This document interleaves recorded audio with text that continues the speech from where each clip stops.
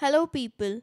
In today's video, we are going to learn how we can create a speedometer chart in Excel.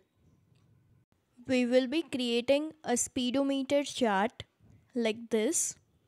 In order to create this type of speedometer chart, we'll require these values which is starting from 0 to 25 this portion then 25 to 50 is this portion. And then this portion again will keep it from 25 to 100 and for the pointer we are having these values. The value 4 indicates the size of the pointer and 83 which means like suppose my sales has gone till 83% then there I'll write 83 and this 117 is equal to 200 minus my target achieved. 200 because the total of all of these values which is 25 50 2500 is 200 that's why we'll take it as equal to 200 minus this value which is my target achieved value. Now first of all I'll just delete this and also let me just change this name and keep it as pointer. These are the values for my pointer. Also let's just change this percentage. Like suppose my sales target achieved is 78% so according to which this value will also get changed. Let me just delete this and again I'll write 200 minus.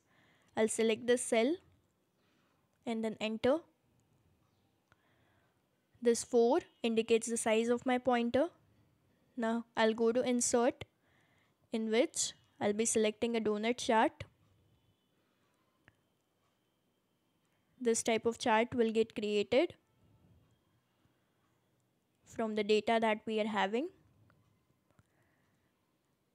Now here I'll just select the chart, double click. Then in series option, I'll select the series values first of all I just want to change the angle.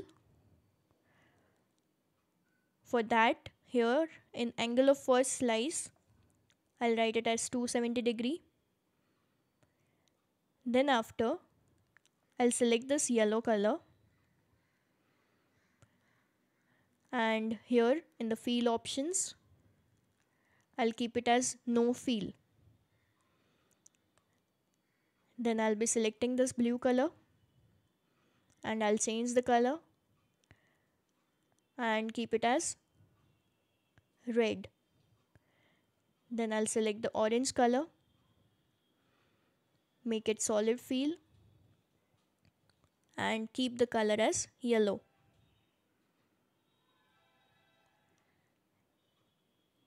Any yellow color you can choose. Then this gray color I'll be selecting again solid fill and I'll change the color to green.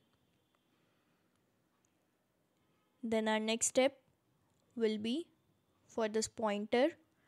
So I'll just right click change series type then in combo in pointer I'll keep it as pie chart and then click on OK.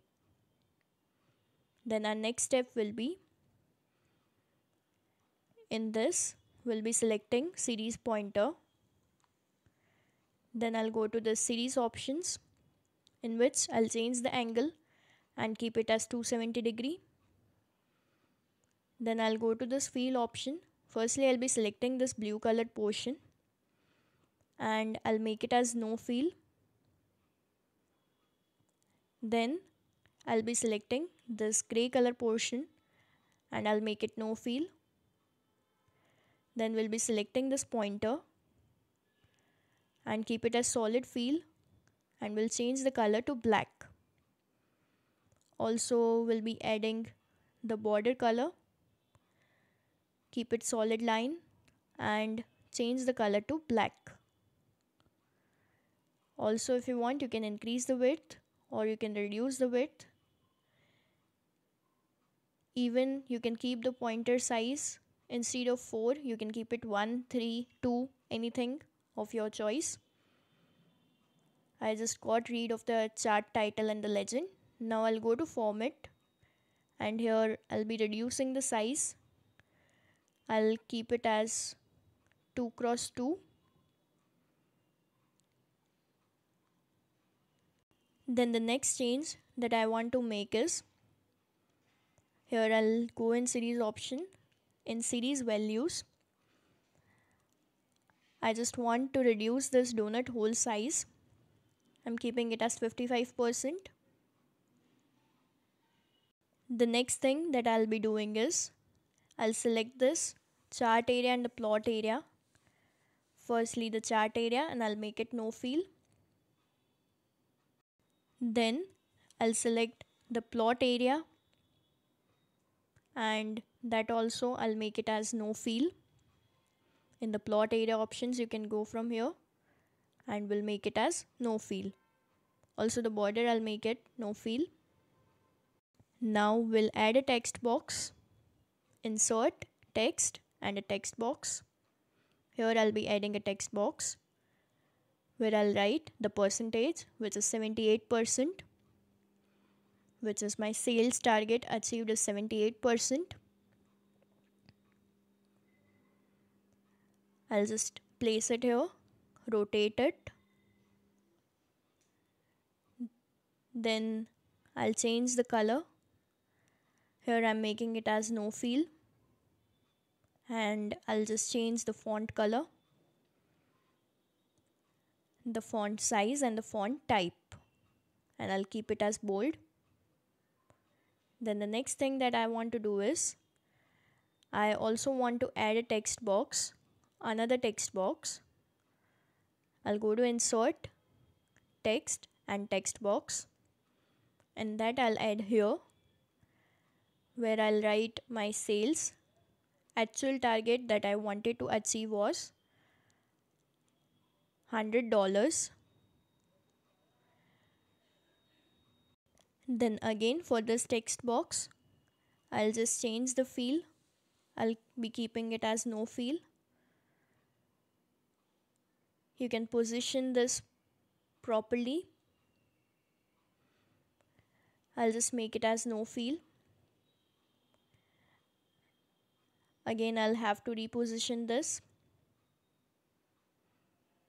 Now it is correctly placed also I just don't need the borderline of this text box.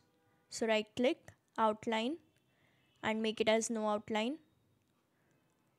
And fill will keep it as no fill you can even change the font color font type and font size.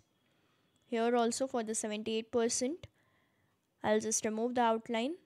Right click in outline make it as no outline now I'll just group these values with my chart. Click on this, then press Ctrl, then select this and select this. Right click, group and you can group it. I can place this chart anywhere I want.